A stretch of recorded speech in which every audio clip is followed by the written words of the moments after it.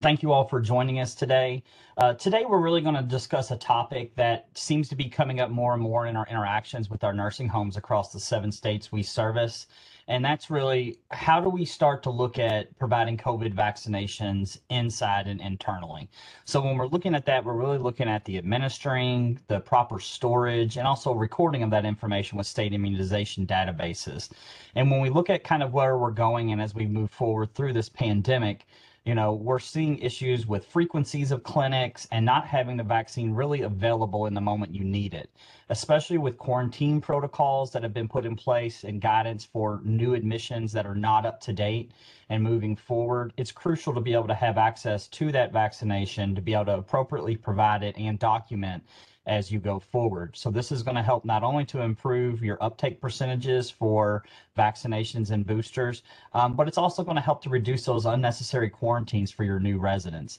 Today, we brought on board with us Dr. Matthew Barnett. Uh, he is the director of clinical operations for Geico Healthcare. They are a long-term long-term care pharmacy provider, and uh, excited to have Matthew on with us today. Um, at the end, we'll have some Q and A. We've also had Dr. Swati Gaur here with us to be able to answer anything from a medical director perspective in the home. So, without further ado, uh, thank you very much, uh, Dr. Matthew Burnett. All right, thank you, Jeremy. I appreciate it. Glad to be here with you guys today. Um, so to enter into the discussion. Uh, so I'm kind of calling this demystifying COVID-19 vaccine storage requirements and reporting and general challenges that present themselves with this rollout. Um, so being a long-term care provider and a vaccine provider for our facilities, I am very uh, much aware of all the challenges that many of you are probably facing and kind of the pitfalls, I guess, that you're running into. I do believe, as Jeremy mentioned, that moving to having vaccine on hand or at least a partnership with a pharmacy to have it a little more readily available will significantly help you guys and lessen some of that stress. So I'm just kind of going to go through a few scenarios of uh, which way you can go because there's a couple of different options to make that happen, and they have they both have kind of pluses and minuses there. Um, so for me, the most common, just to kind of speak in general terms. So from the pharmacy standpoint, right now, when we dispense a COVID vaccine, the main issue is still being that the manufacturers of COVID vaccines are making those into large doses, large vials. So when you're having new admissions for one or two people, it makes it kind of difficult to be able to send out a vial to justify one or two people. So the federal government says that it's okay to you know, use it even for one dose. However, the CDC and your local Department of Health may have you sign off on something that says you're not going to waste vaccine. So you kind of play a tricky game there. Uh, that's one that we run into a lot, uh, and we try and kind of just get, you know, enough people that we think it justifies sending it out. Uh, for your in the facilities, once you're able to actually get it in the facility, that'll be up to, you know, the your staff and you on that. Um, I can tell you that we have not really had any pushback or uh, negative issues or anything like that from having sent out, you know, one or two doses and wasting the rest. Um, but it is something that they do look at. So with that in mind, I'm going to go ahead and get started on the couple of options. So as I said, there are kind of two pathways to be able to get vaccine in your facility. Uh, the first and easiest one, in my opinion, is to partner with a pharmacy your current pharmacy provider or another pharmacy provider that is able to send it to you guys and let you handle it. So the way that we have our our setup is we actually get our vaccinations from the federal government's federal retail plan. Uh, a lot of other pharmacies get theirs from the Georgia Department of Health, and it comes with its own restrictions, which I'll kind of discuss. Uh, but for the federal retail program, we are actually able to partner directly with uh, facilities. There's a bit of paperwork to fill out uh, to sign up to show that you have the correct storage requirements and those sort of things. And after that, and we have that done, we're able to actually ship that out kind of as needed. We just need a day or two notice to kind of ship the vaccine there with our normal medication deliveries. It seems to be going well for most people that are doing that. So, first thing to know is or ask your pharmacy is, did they receive their vaccine supply from the state or from federal resources? If it's from federal resources, there's only a little bit of paperwork that's needed. And after that, they will be able to share vaccine supplies with you. Uh, and then you actually don't have to store it a lot on hand. And I'll go into storage and stuff, but it, it does help out. Uh, if they do have a state supply that they get from the Department of Public Health, I know, for instance, Georgia, if a pharmacy gets their supply from the Department of Public Health in Georgia, they are not allowed to set up secondary sites at all. Uh, some, I imagine that's going to change soon, and some of your states may be different than that. But uh, I do encourage that you check on that particular thing. But if it is from a, a federal allocation, then there are no problems with sharing that with a secondary site. Uh, the next question is going to be which vaccine do they have? The does the pharmacy have? So storage requirements are significantly different between those. Um, we'll go ahead and talk about J and J. It's no longer authorized for booster, and since that's mostly what we're talking about, you, it's pretty much out of the conversation. Uh, it is limited use for other situations from the beginning if someone has an allergy to an mRNA or something like that. Otherwise, CDC really doesn't recommend its use anymore. Uh, so we'll go ahead and get that one done. So Moderna is probably the easiest and most user-friendly storage vaccine for you guys. Um, it is stored in the in the freezer at the pharmacy, and then it can be taken out of the out of the freezer and stored in a fridge for up to 30 days. So it's really good for shipping to and from the facility and stuff like that, or to the facility from the pharmacy. It really lends well to that. Uh, Pfizer is required to be in an ultra cold storage container. So some of the pharmacies have, pharmacies have those. Uh, you had to special buy those if you didn't already have one, and not a lot of people have stocked the Pfizer just for that reason. Um, it is there are ways that you can store it in your with a partnership with a pharmacy that you could bring it into your community and store it. Uh, it can be stored in a regular freezer for 14 days, and then before dilution, it can actually be left in a refrigerator for 30 days. But with the Pfizer, you run into the pitfalls of the dilution, so it has to be mixed and diluted prior to administration, and then also the cold storage and stuff like that. If you're trying to just keep it on hand uh, for six months or whenever until it's good, uh, you can kind of run into issues there.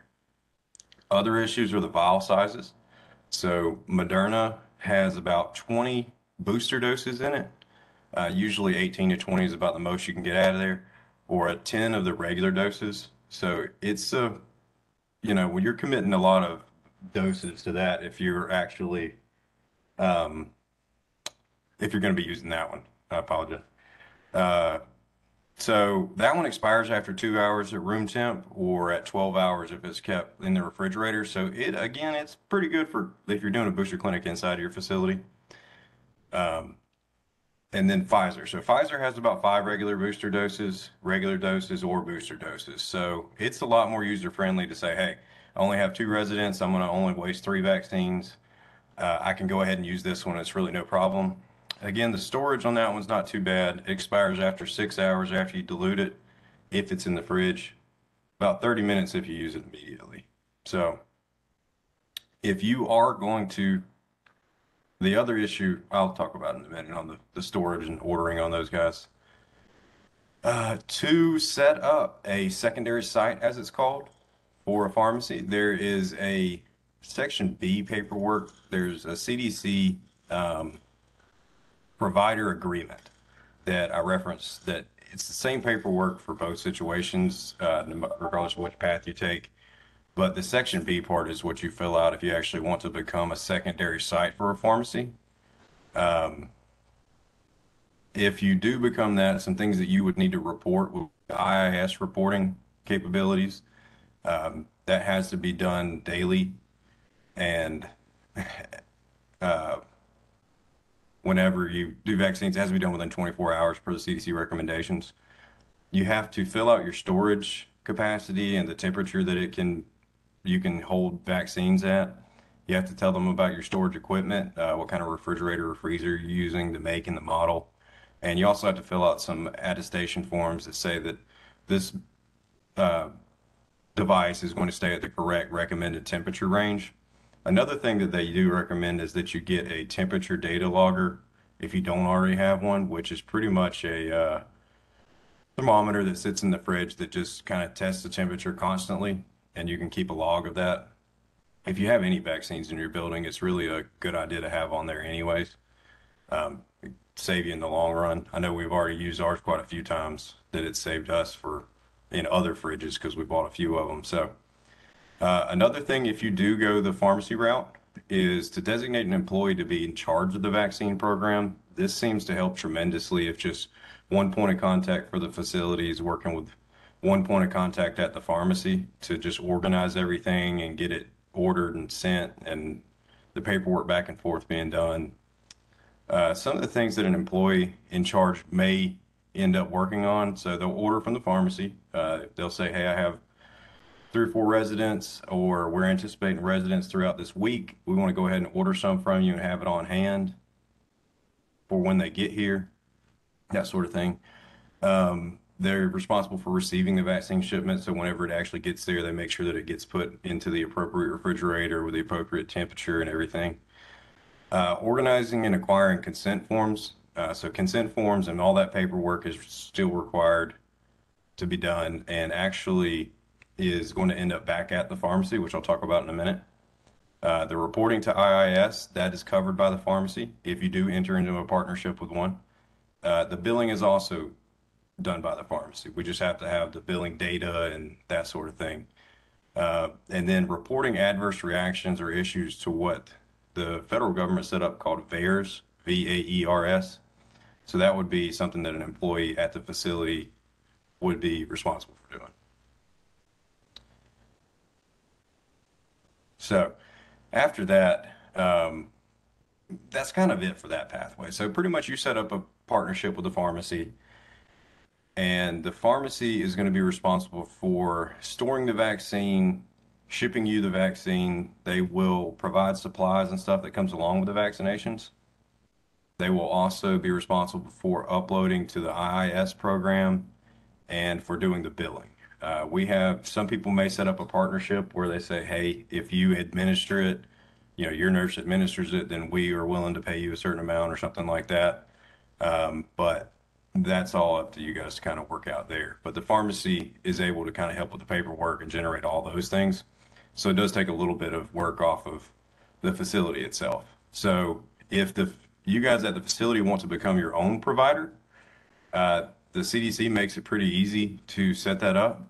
Um, I have a link here, but if you go to their website and you look for CDC provider vaccinations, then you can actually set that up uh, pretty easily. They have all the information as you go down. So you'll complete a COVID 19 vaccination program agreement. Uh, you will have an employee, preferably kind of the same person you would have as your pharmacy contact. They'll have to go through training and education modules there's a few of them. There's best immunization practices uh, for healthcare providers, uh, specifics on the Moderna vaccine, specifics on the Pfizer vaccine, uh, temperature storage and vaccine storage, just general that kind of stuff. Uh, you will need to have the IIS requirements and have the capability of being to upload those within 24 hours. And someone has to every day has to go into CCC, CDC's website and upload the inventory of whatever amount of vaccine you have left, as well as your local health department may do, may do that as well, or have you do some of that. For us, it's daily, and for Georgia, it's kind of the same way. You still have to upload for both of them. Um, you'd have to have a billing set up for that because you are able to build Part D plans for it. Some of them are not paying very well. Um, but there is some money to be made from from that. But that is, in addition to that, so some of the things that I talked about from the pharmacy standpoint, you would still you'd end up doing those if you did your own storage as well. So you, you'd still be worrying about the storage requirements, the vial sizes. Um, one thing that I did want to mention that I skipped earlier was Moderna is very user friendly as far as when you order it, if you do become your own facility, your own provider, you're able to order it in 100 doses at a time, which is about 10 vials. So it makes it quite a bit easier. The problem with Pfizer is, is if you do order it, it comes in doses of 100 and 1,187 doses per pallet, uh, which makes it extremely difficult to store and to use within that short time frame if you're going to keep it in a regular freezer, if you're going to keep it in the fridge or something like that. Uh, you may run into wasting a very large amount of doses. Uh, I really anticipate the next six months or a year that the vaccine manufacturers are going to have to start going to some sort of a single dose uh, COVID 19 shot in order to make it feasible at all for us. They haven't done that yet at all. Um, but uh, last time I asked one of them about it, it was kind of a need that they knew about, but nothing they were actively working on. And that was about six or eight months ago. So I'm still hopeful that that'll help, that'll work out, and that would help uh, all of us significantly. We'd be able to just send out kind of like a pneumovax or something, you know, hey, this patient needs this, and we send it out specifically for that patient. But that is hopefully in the future. But that is a rundown of kind of the two pathways you can take to get vaccine in your building. Either to kind of summarize, there's the path where you partner with a pharmacy that is a federal provider that's able to set you up as a secondary site. Uh, the other option is to become yourselves a vaccine provider. Uh, CDC has lots of documentation on how to do that and where to go about it um, and go from there. But that's about it, Jeremy. Thanks so much for that information on that end of it, um, and, and kind of letting us know about those two different pathways. So, and just to make sure I kind of got it as I was taking Yep. some notes, is I'm educating myself here too. Okay. Is, you know, the first path is really more in partnership with your long-term care pharmacy. Yeah. That takes some of the paperwork burden and some of the other things that are behind it off of you and allows you to really do that administration um, without having as many things versus becoming the true provider, correct? That's exactly right. Yep. Yep. So there are a couple paths, and I, I will share for everyone on the call. Uh, Alliant did go ahead and we put together a one-page document on this that will cover all seven states we represent, and it has the um, the IIS, the immunization registry is basically we have that um, available that will link you to the registry, also to the proper email and phone contacts for your state if this is a channel you want to explore in that sense. Also, you can reach out to Alliant at booster at allianthealth.org and we can help to answer questions for you and also bring things back around on that end of it. Um, one question that I was kind of thinking of as we were going through it, Matthew, was have you had any like from the homes in which you you I know you said you were out touring some yourself, um, best practices for storage in the home, like as far as keeping it or um, models that would be something you would want to follow? I know you talked about having an individual in the home kind of being the responsible party for Yeah. all pieces of this. Is there Mhm. anything that sticks out in particular for you in that side? Yeah, designating like a fridge and um, to be like the, all right, all of our COVID vaccines are going to go into this refrigerator. Uh, we're going to have this particular storage device to stay on on the side of it, like a like I said, a temperature data logger that kind of continuously monitors. Um, not just kind of throwing it in with the other meds and stuff like that. Because although we do log it, you know, that's a, as part of a pharmacy audit and everything else. It it's not quite as uh, you know, everybody doesn't pay attention quite as much to that one as they do the one with the COVID vaccines and everything. Um, yeah, having a point of contact, honestly, the ones that I, we have uh, quite a few facilities that are doing this with us. Uh, they seem to really like it uh, for exactly reasons that we're talking about it. You know, it's more convenient. They can kind of pull residents and order it ahead of time and have it on hand and do a booster clinic a week later because they are good for 30 days in the fridge, both vaccines. So they do lend well to that. Uh, but yeah, that's about it. We also have Dr. Garland with us, who is medical director for Alliant, but also over several long-term care facilities. And Dr. Gaur, I believe that this is something that your own facilities participate in. Is that correct? Can you give us a little insight on your side? Yeah, absolutely. Um, so our facility is actually a hospital affiliated facility. And, uh, you know, when the vaccine allocation happened initially, I know that the lo a lot of facilities had that pharmacy partnership. Ours actually was pooled, our vaccines were pooled into the hospital vaccines. So we have been having to uh, in-house um, that process ourselves. And while it was initially, um, you know, we thought that you know it was a little challenging to set up because of the you know more restrictive uh, way that the vaccines were being given out initially. I think it um, lent itself well to that ongoing um, you know vaccine administration not just for i would say not just for the residents but also for the staff. So the way that we um, are able to do something like that is actually we will uh, look at the number of residents who, um, you know, especially the short stay residents, when they're coming to us, we are making sure that we have either one or two clinics, um, you know, a week. Um, ideally, you know, typically we have one clinic a week. Um, but that's how we actually ended up um, having such high rates of even staff vaccination because once we open a vial, the DONs will communicate to all staff members that you know we have a vial open and we have you know two two vaccines left or three vaccines left. Does anyone else want to have a booster?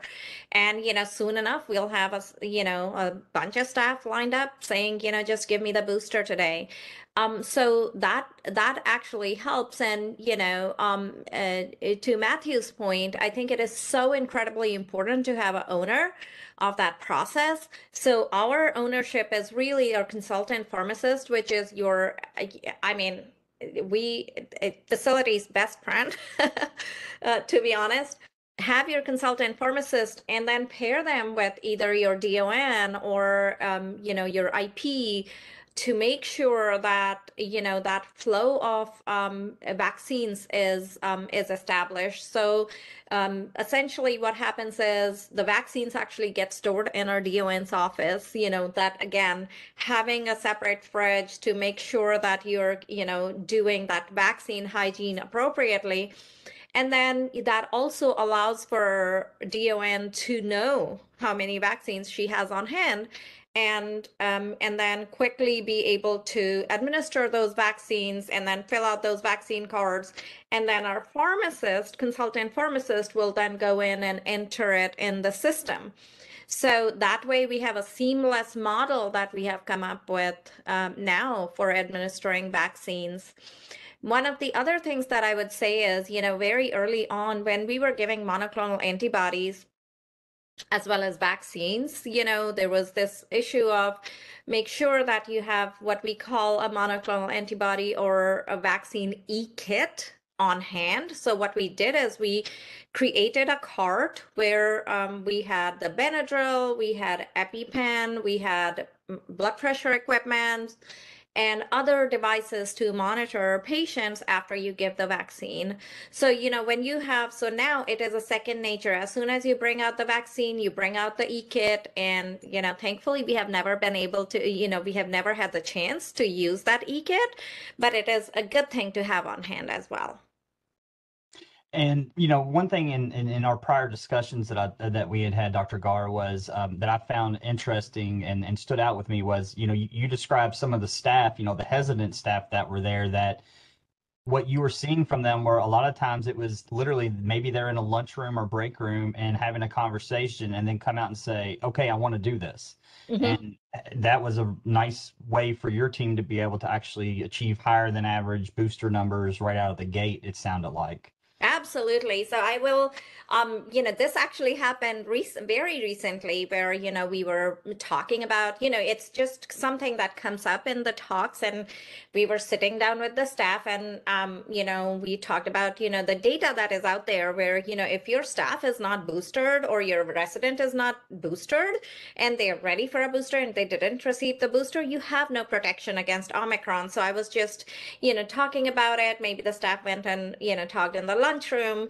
Next thing, there is a set set of like five staff members who are like, I want it now. So, you know, you always have to realize that there is that window of opportunity with your staff that you have where you can really, you know, they want it. It's like me, you know, when I want the flu vaccine or any other vaccine, I want it now. I always tell my staff members that when I come into the facility, if you have to give me that annual, even the annual flu vaccine, I'm like, just as soon as I walk in, just hit me up with a flu vaccine because I'm not going to take time to, you know, have 50 million things to do. You know, our staff members have the same, you know, they would probably not take that time later on. So to have that on hand, your staff booster uh, and vaccine rates will go up. That is for sure. Great. We have just a couple minutes left. If anyone has a question, um, please pop it into the Q&A section or into the chat, and we'll be happy to be able to address that for you. I will remind you that um, I highly suggest you download the presentation here because we're going to include in that a one pager that includes all seven states with your priority contacts and kind of how to start and take that initial step in engaging in this process to be able to kind of go forward on that there. You know, as we look at the big picture and we kind of go forward, you know, I'll kind of reiterate what I started with. You know, this is really a, a great way if we look at, you know, how long we've been dealing with COVID. And I think we've all come to the realization that it's going to be part of our lives in one way, shape, or form for the near for the future. So we have to start preparing our homes in that same way. And we've spoke to that before. Like how do we build COVID and protocols into our daily practices?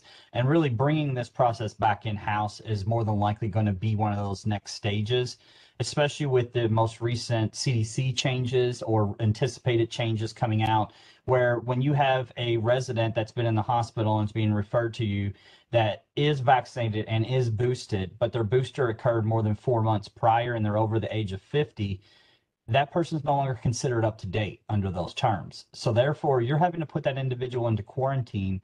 They may or may not choose to be able to come to your home. However, if you can partner with your hospital, number one, try to get them boosted before they even leave the door. And number two, remember that if you have it in your home, you can go and actually administer the vaccination right then and there. And by CDC's terms and definitions, they are up to date in that moment. And the additional protocols, transmission based protocols you're having to put around them, you're going to be able to take back. So you're going to have less chance for a issue with someone being non-compliant, which could create survey problems for you in the building less PPE burn rates and issues associated with that side of it.